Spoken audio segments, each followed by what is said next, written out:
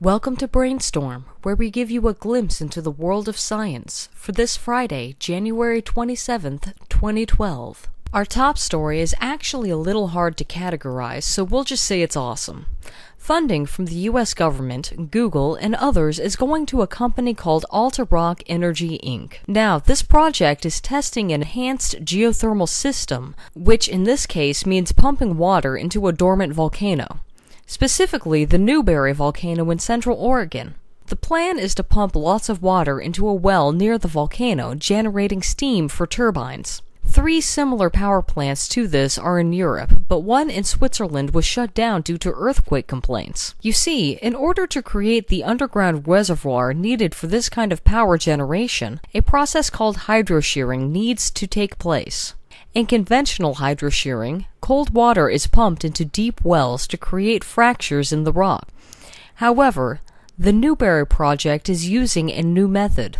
Biodegradable plastic particles are added to the water. This seals off fractures near the surface and promotes more to form deeper after which the plastic melts away.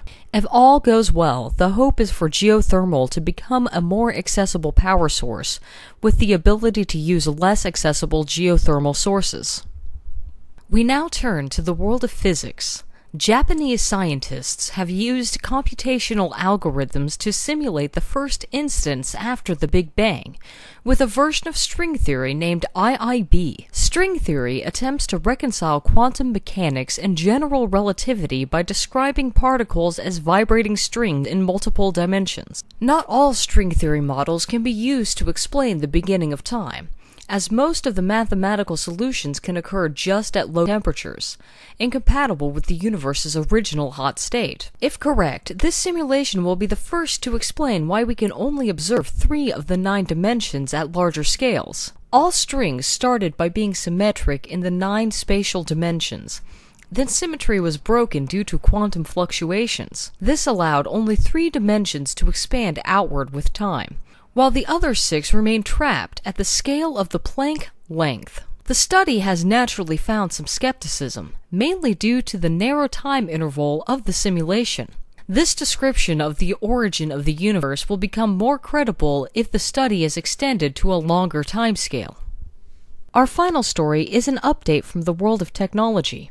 Collaboration between German and IBM scientists has resulted in the world's smallest magnetic storage unit. 12 iron atoms can store one bit of information, meaning a standard byte of information will only require 96 atoms. This data storage unit is constructed, read, and written on an atomic level using a scanning tunneling microscope.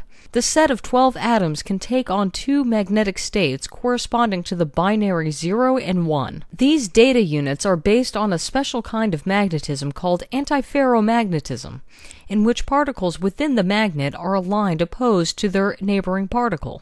This essentially makes the units magnetically neutral at large scales, allowing them to be placed extremely close together. Now, unfortunately, these kinds of systems only function at minus 268 centigrade, but the scientists said there's potential for 200 atom arrays to be stable at room temperature. Ultimately, it'll be some time before we have atomic scale data storage in computers, but in the meantime, it's also an excellent opportunity to research quantum effects using even smaller smaller data units. Well, hope you enjoyed this episode. If you did, please consider subscribing and be sure to check the links in the video description.